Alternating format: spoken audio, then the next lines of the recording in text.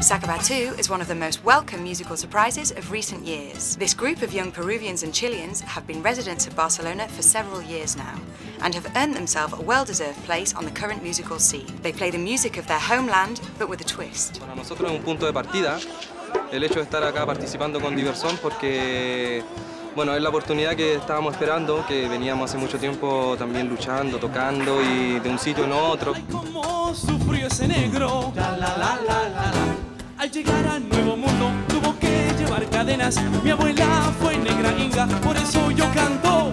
El que no tiene de inga, tiene de mandinga. Mandinga, mandinga, mandinga. Tiene de mandinga. El que no tiene de inga.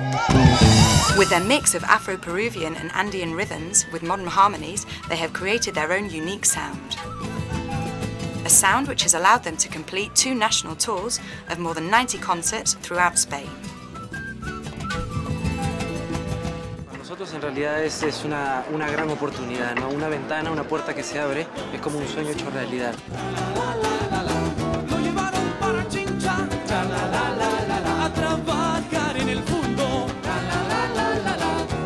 Subirse a escenarios tan grandes en diferentes partes del país eh, supone en realidad algo que, que en realidad ni siquiera pensábamos jamás poder conseguir. ¿no? It was their unique way of performing and living their music which led Sakapatú to be selected to participate in the 10th World Music Festival in Barcelona. Their success in such a prestigious event, organised by the Caixa, was a big step forward for the group.